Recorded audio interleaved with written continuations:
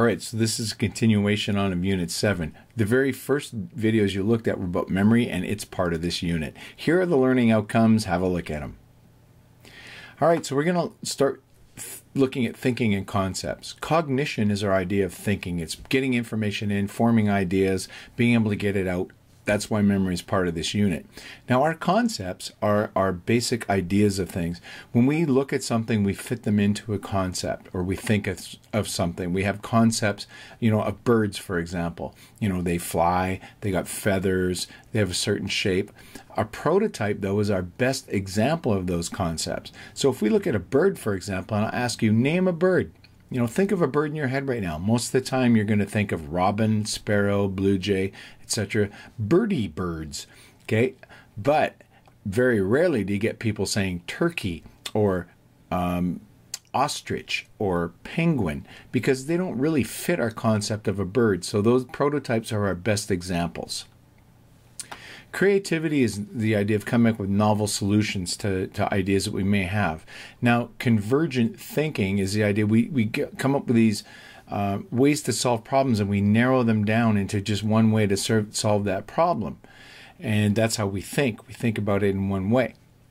Divergent thinking is expanding that kind of thinking into novel ways of thinking and coming up with multiple solutions that may be outside the norm and this is often how we come up with you know really unique and good ideas.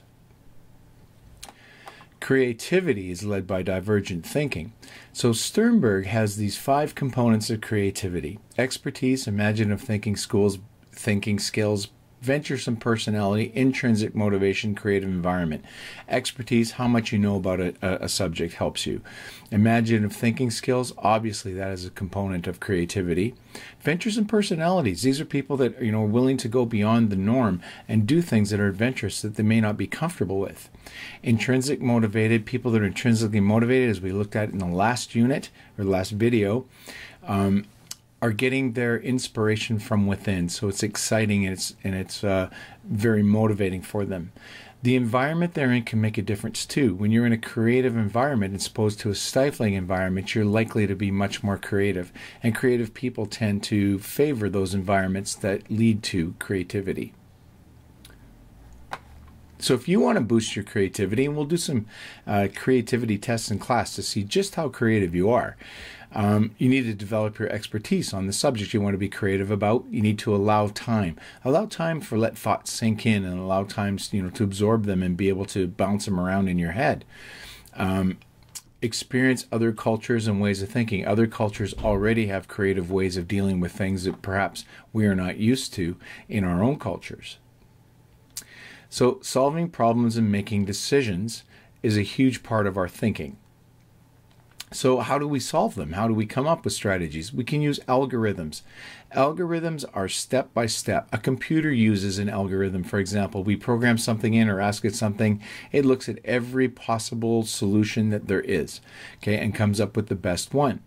Um, this would be akin to you going to a grocery store searching for mustard and you go using an algorithm you'd look at the start and you'd look at every single item in the store and then decide where the mustard was and you would be absolutely correct but it would take a long time and that is the disadvantage of algorithms despite them being very accurate or you might use a heuristic. Heuristics are general rules of thumb that we use. So, in a grocery store, for example, uh, we would say we're looking for mustard and is a condiment so we're going to go straight to the condiment section and we're going to definitely decrease the time it took to solve that problem. The problem with heuristics is often they can lead you astray and not be accurate whereas the algorithm is always accurate. Insight you know like insight learning that we looked at in the last video too insight is that sudden realization to a problem and we may come up with that often. Sometimes when we sleep on things, when we combine our knowledge of sleep, you know, we'll solve that problem overnight. And we woke up, wake up in the morning, we have an insightful solution to it. Animals exhibit insight too, and we'll talk about that in class.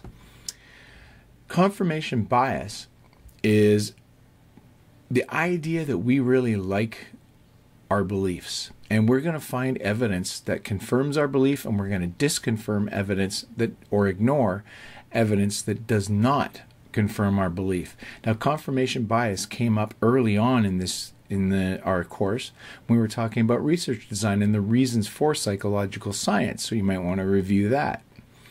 Mental set, you know, the idea that uh, we can become fixated. We can look at uh, how we've solved a problem one way, and then we have another problem that maybe we think is similar. So we're tend to going to go back to the idea of how we solved that previous problem. And that is a mental set. It may not be the most accurate way to solve it, but that's where we go. When we've been successful in the past, we tend to use that in the future, even though it may not be the best way. Try this. We got six matches. Okay, I'm going to get you to pause the video and see if you can come up with an idea. How can you put these into four equilateral triangles? Okay, pause it because the next thing you're going to see the solution. So here's a solution. Did you come up with it? Um, this is a, a three-dimensional shape. Most of you are probably thinking two-dimensional, okay, because we have a mental set and we can't we don't think beyond of of those other ideas. You know, we need to be creative to come up with the solution. If you got it, good for you. Here's another one. We got some, a set of matches, some thumbtacks, and a candle. Your job is to mount the candle onto a bulletin board. You can't just put a tack in the in the candle in the bulletin board because that won't work. Okay, pause, and when you think you got the solution, see what it is. Okay, so here's the solution. We could empty that matchbook or matchbox, and we could state or uh, pin it, thumbtack it to the bulletin board, and then put the candle inside it. And that's a novel solution. And you may have come up with other ones, but uh, may take you a while. And it's like these are just easy things. Those of you that did solve it may come up with an insightful learning and go, oh, yeah, aha, that's how I can do it. So our intuition is our automatic unreasoned feelings and thoughts. Okay, we, we basically go by the seat of our pants. We use intuition for a lot of things. However, intuition can actually be based on a lot of our past experience, and we just tend to put it together very quickly. This picture down here, they're sexing chicks. Um, that sounded really bad, but they're determining the sex of these chickens, little chickens. And they can almost look at them and determine it because they've had so much experience with it that their intuition is is pretty accurate. Okay, um, with our heuristics, there's two kinds that can help us and lead us astray. A representative heuristic is that we think of the prototype and the likelihood of something fits into this idea that we have, this general rule of thumb. So if I ask you about there's a, a truck driver, or sorry, I start that over. Um, there's a person and he's a short bald man. He wears glasses. He likes poetry. Um, is he more likely a Ivy League professor or a truck driver? Well, he kind of fits our representative heuristic of an Ivy League professor, so we might guess that. But if we look at the math behind this, we go, there's not that many Ivy League professors to begin with, and there's only about half of them are short, about half of those that are bald, about half of those that wear glasses, we get a very small number. But if we look at truck drivers, it's such a huge base to begin with, and then we whittle it down and we use the same idea. Half of them are short, half of them are bald, or half of them are bald and half of those are short, and half of those like poetry, which is probably even high.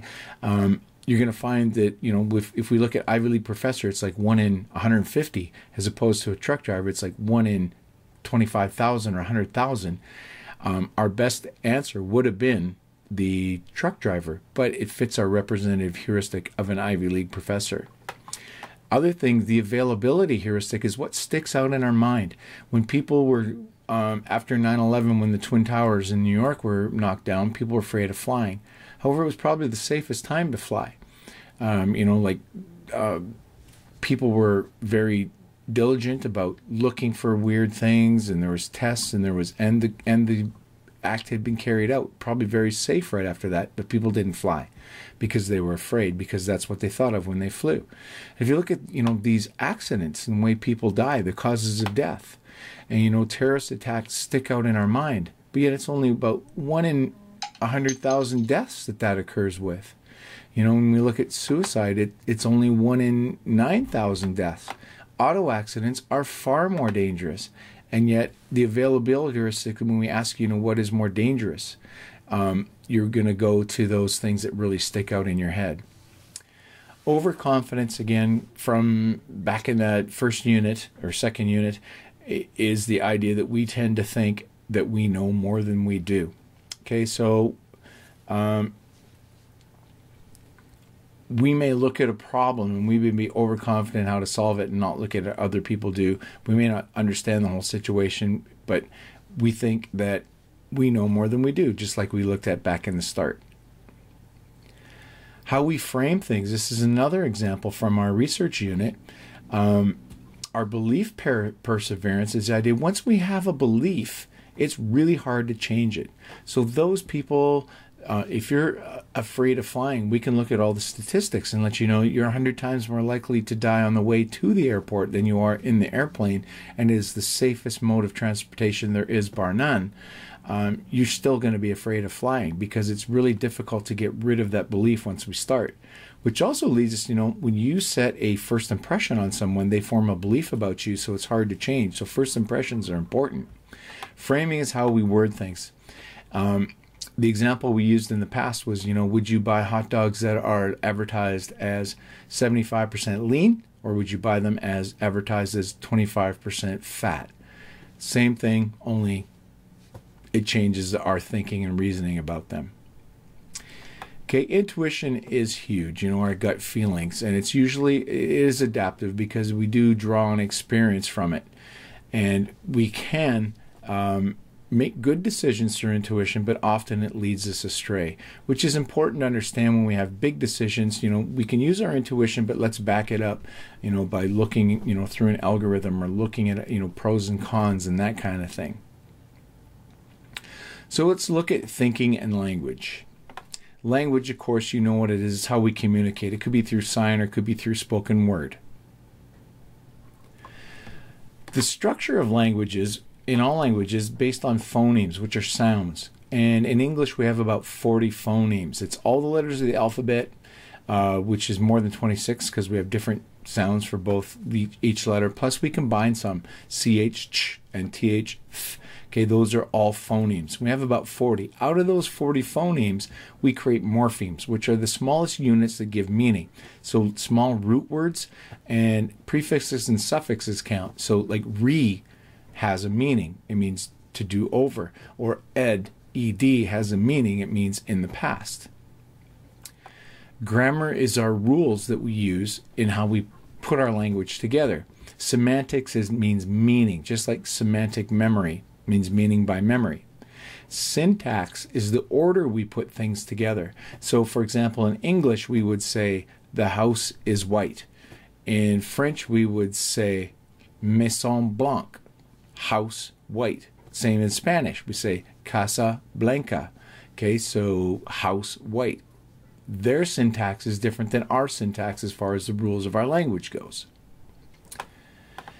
How we develop it is, you know, we started at obviously an early age where we go through babbling, then we go through a one word stage, a two word stage, and then telegraphic speech, which is basically eliminating all characters of our speech that we don't need or words. Okay, so the way it works is that about four months, infants will babble. It doesn't matter what culture you're from uh, Japanese, Korean, South African, uh, South American, doesn't matter. All babies babble the same. You cannot tell what language you're going to speak from how they babble. At about 10 months, it starts to resemble the actual language. It sounds like they're talking, they're following the rules of speech, but there, there is no communication whatsoever. Then at about one year is where we say our first word. Do you remember your first word? I bet you don't, but somebody might have told you what it was. Okay, and then by two years, we get two word speech or telegraphic speech.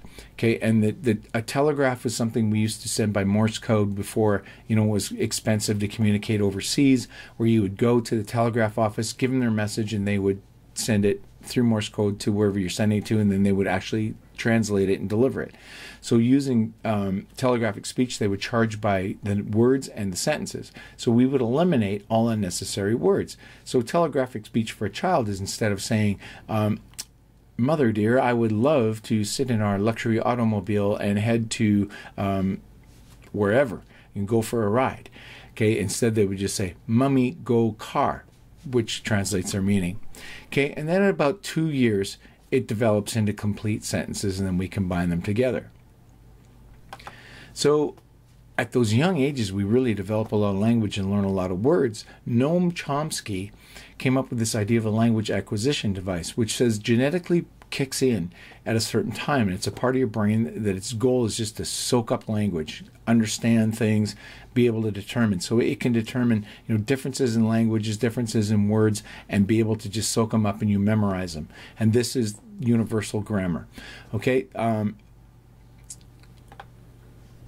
also, it leads to these critical periods where when you are young, it's the best time to learn language. When you learn languages later in life, they're not stored the same, they're not used the same, they're not recalled the same. Okay, so if you don't learn a language before about the age of seven, you're going to have a lot of difficulty learning any languages properly. And that is the idea of a critical period. That time, period of time where it's important we are exposed to things or it never works the same way. If we look at our brain, this is review from our neuroscience unit. Broca's area and Wernicke's area. Broca's area again controls our motor movements for speech. Wernicke's is about how we understand it.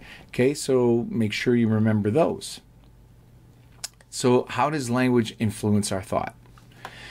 Uh, Benjamin Whorf had the idea of linguistic determinism, saying if we don't, if we learn language, that determines how we think. Okay, and it makes sense. You know, if I tell you to uh, the difference between green and blue, you know, easy for you to think about. But if I tell you all to think about blue, um, many of you are going to think of navy blue, some powder blue, some royal blue, and so on. There's a big difference. But if I tell you to think about powder blue, you're all going to have a much easier way of thinking what I'm talking about. Same thing when I'm thinking about it, if I have language for it, it's easier to determine. Um, the Hopi Indians have no past um, verb tense, so they have difficulty thinking about things in the past, and that's an example how Whorf says our our language helps us think. So our language is influences thinking, obviously. You know, you think most of the times when you're asked to think about something that it is you think in words. Sometimes you think in pictures, though. You know, when it's procedural, and we think, you know, think about riding a bike. How do you ride a bike? You're probably going to think in pictures, but almost, you know, most other things you're going to think in language. So the better the language, the better our thinking. Okay, which leads us to believe that why you should know your vocabulary, especially for psychology AP. Okay, so that's the end of Unit 7. We'll see you guys in class. Goodbye for now.